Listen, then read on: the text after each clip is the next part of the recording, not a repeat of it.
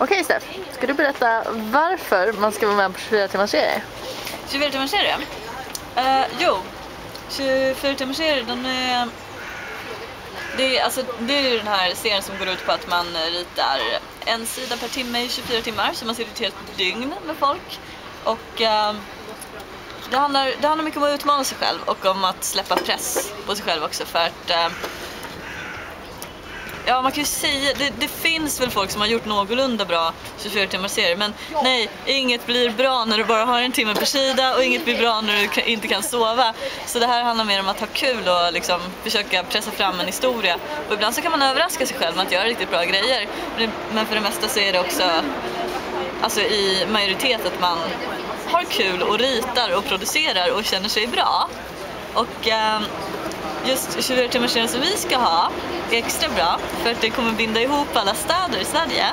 Och om du inte kan ta dig till en stad så finns det kanske en annan som är närmare dig. Vilka städer i Sverige är det som mm, Stockholm, Göteborg, Malmö, Gävle och Vingåker kommer alla vara med. Och eh, vi kommer hålla på hela helgen. Så först börjar Malmö klockan 10 på fredagen. Och eh, sen så kommer Stockholm klockan 3, eh, Göteborg klockan 19 och sen Gävle klockan 10 på lördagen och Vingåker klockan 17 på lördagen. Så vi kommer vara igång från fredag till söndag. Och eh, jag tror det kommer bli riktigt häftigt. Jag tycker om alla ursäkter till att serietidningar träffas och utbyter grejer också. Och på sätt och vis så kommer vi göra det på det här sättet, inte bara genom att komma till sin lokala stad, utan också genom att ha kontakt med de andra. Men om man bor i en, om man inte har möjlighet att ta sig till någon av mötena, kan man vara med ändå? Klart man kan. Det är liksom så här, dels så tycker jag att de som inte kan, kan uh, man kan utmana sig själv. Eller så kan man samla ett gäng kompisar och utmana sig, varandra också. Hur ska och man så, göra om man ska vara, om man ska vara med utan att åka till de här ställena?